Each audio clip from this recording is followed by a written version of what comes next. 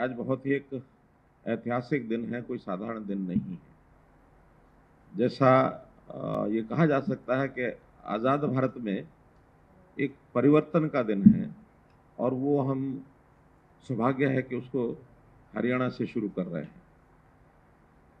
व्यवस्था परिवर्तन की जो बात हमने वर्षों पहले कही थी, जिसके लिए लगातार मेहनत की, और उसका परिणाम कब निकलेगा उस समय मेरे से भी पूछा जाता था तो मैं बता नहीं पाता था।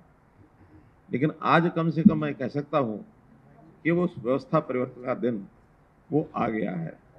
व्यवस्था परिवर्तन यानी अंग्रेज़ों के समय हर कोई अपने अधिकार को माँगता था। हमको ये चाहिए ये चाहिए, हमको मिलता नहीं है।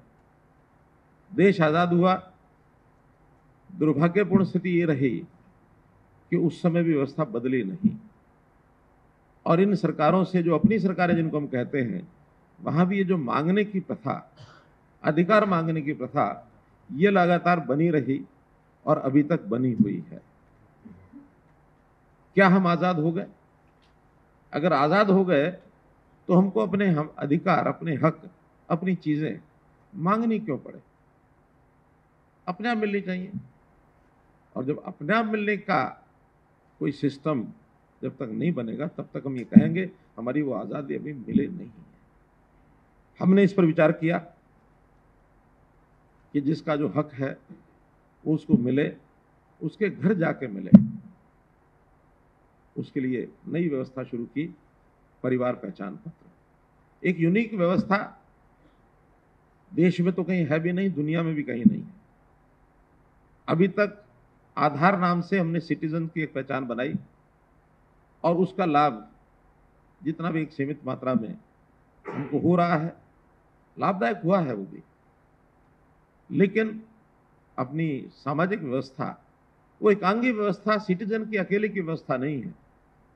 ये व्यवस्था परिवार की व्यवस्था है और बहुत योजनाएँ वो मेरी परिवार से जुड़ी हुई है।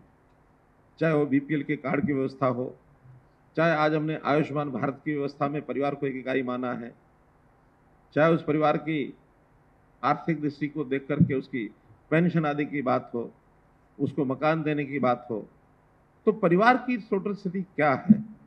उसमें से ये जो परिवार पहचान पत्र की व्यवस्था बनी, इस परिवार पहचान पत्र की व्यवस्था के माध्यम से एक परिवार की सामाजिक स्थिति, आर्थिक स्थिति, अन्य सब स्थितियाँ, परिवार का साइज़ उसकी आवश्यकता है। और आवश्यकताओं के साथ साथ परिवार की कोई विशेष क्षमता ऐसी भी जानकारियाँ मिलेंगी तो समाज के लिए उसका भी उपयोग किया जा सकता है। तो इस प्रकार से आज जो ये कार्यक्रम हमने किया है, इसको मैं एक कहावत के नाते जैसे कहावत कहते हैं ना कि प्यासा कुएँ के पास जाता है, लेकिन आज हम उस कहावत को बदल रहे हैं।